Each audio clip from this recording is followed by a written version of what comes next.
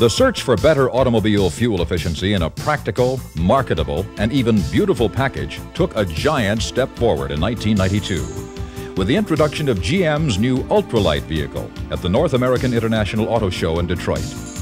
Ultralite is not only an evolution in cutting edge technology, it's a revolution in the way the auto industry will think about fuel efficiency in the future. It required dramatic new thinking and demonstrates GM's ability to lead the way.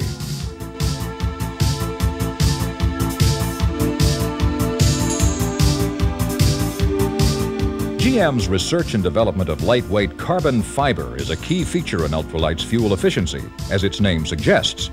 But weight is not the only innovation that makes Ultralite the success that it is.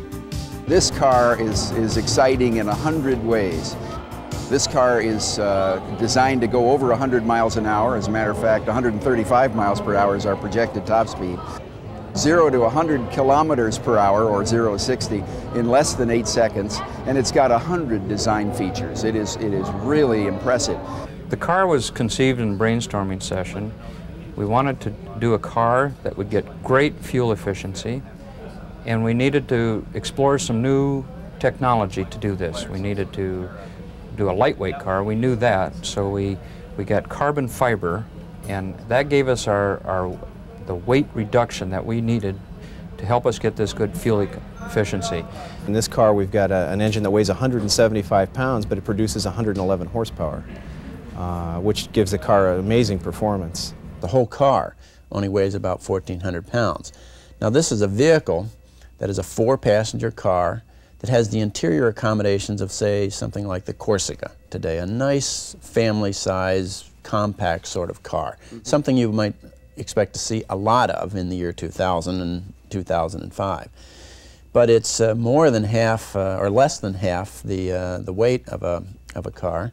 Uh, like the Corsica. The fuel economy at, let's say, a steady state 50 miles per hour is 100 miles per gallon. It has uh, outstanding aerodynamics to minimize aerodynamic drag. We have a drag coefficient of 0.19, which is an exceptionally low compared to today's cars, which are about 0.33. We've got level control, and uh, the vehicle will go up and down with speeds so that at high speeds it squats down on the road further to lower the center of gravity. That gives you better stability and also reduces the drag coefficient.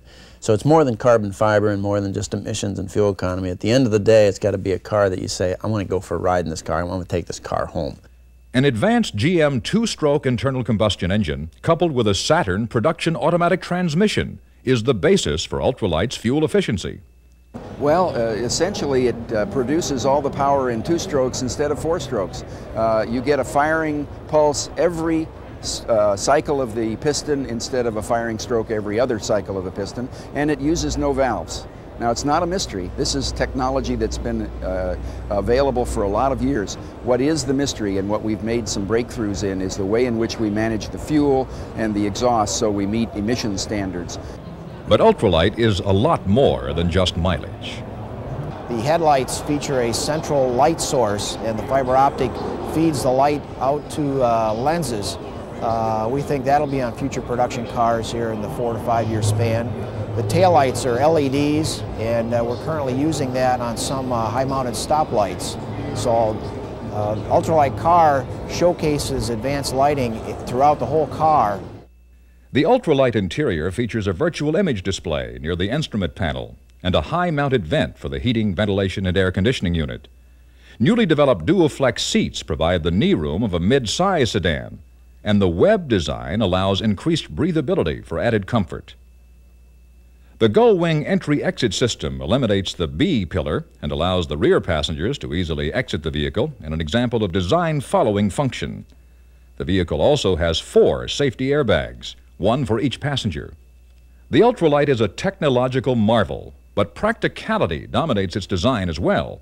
The engine and rear wheels are a modular unit or pod. The whole mechanism detaches quickly from the vehicle. This concept could allow the customer to choose from several powertrain options.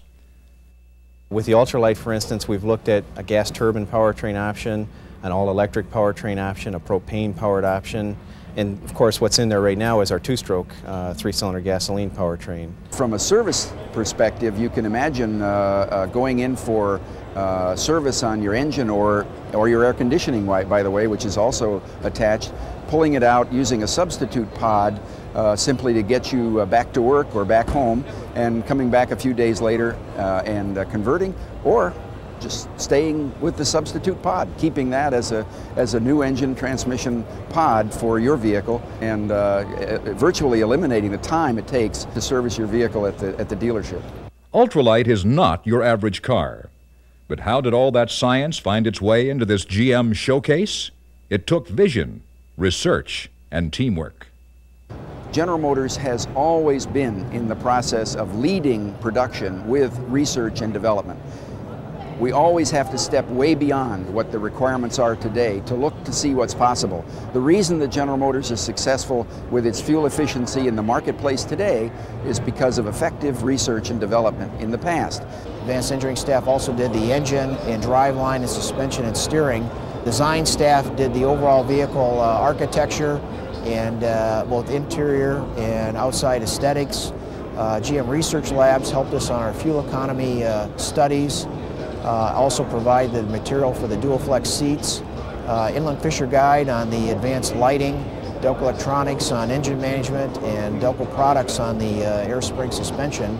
All four of, of, our technical staffs worked together from the very beginning, identified the requirements for this car, sketched it out, modeled it, and then took it to production. And they did that simultaneously. You can't do that in 100 days unless you've worked as a team.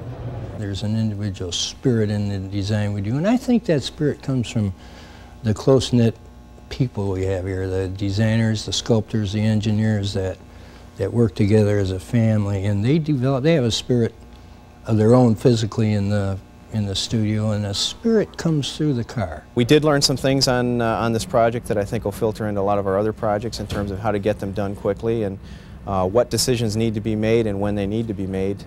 Ultralite's future is no doubt embedded in fierce competition. Still, it's a learning tool, and what it's teaching the world speaks volumes about GM and GM technology. Here's an example of us deciding to do something, us deciding to make a knockout vehicle that blows away the competition in the concept car arena. Uh, it's better than anything I saw at Tokyo. It's better than anyth anything I saw at the Frankfurt auto shows.